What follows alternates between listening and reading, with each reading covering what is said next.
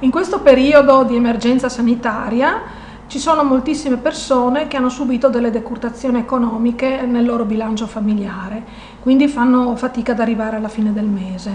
Importantissimo in questo senso è l'operato della Caritas diocesana che tramite l'opera di moltissimi volontari si sta dando da fare in questo periodo per venire incontro alle esigenze di queste persone.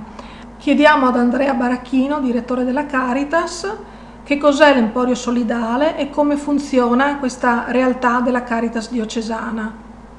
È un negozio eh, di quartiere nella quale le persone che sono segnalate dai centri d'ascolto delle Caritas parrocchiali, eh, dalla Croce Rossa, dalla Chiesa Battista e dalla San Vincenzo possono andare a fare la spesa normalmente eh, attraverso delle tessere a punti.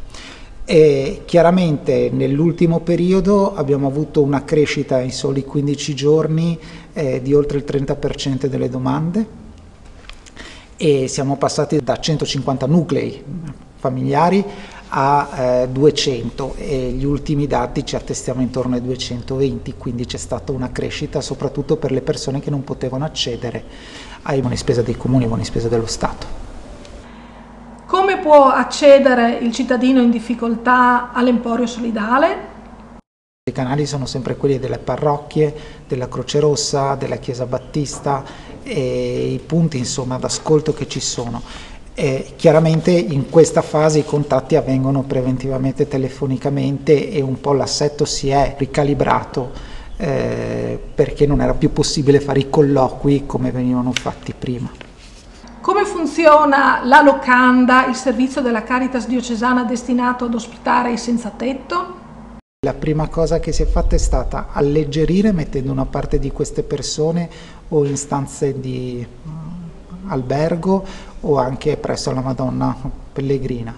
Questo anche per permetterci di garantire eventuali eh, problemi legati eh, a eh, eventuali positività all'interno.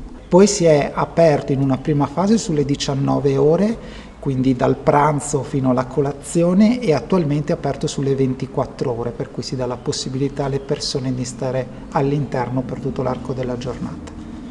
Per quanto riguarda il che cosa si succederà, eh, questo dipenderà anche molto da quali saranno le linee guida e da quali saranno anche appunto i bisogni che verranno qua, insomma, perché ci dovesse essere una crescita, una crescita di domanda, non possiamo pensare di continuare a rimanere a numeri così ridotti all'interno. Quindi rigestire, ricominciare a riportare dentro persone, però tutto questo garantendo la sicurezza sia di chi sta dentro, e sia di chi opera, quindi operatori e volontari che sono all'interno. Questa è un po' insomma, la sfida che ci attende adesso.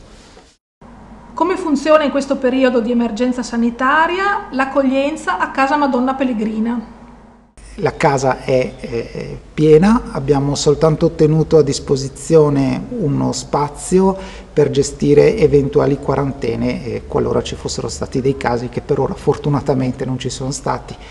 Chiaramente anche qui si tratterà nel corso delle prossime sei settimane di vedere in che modo riaprire all'accoglienza perché in questa fase ovviamente l'accoglienza di persone nuove è stata bloccata.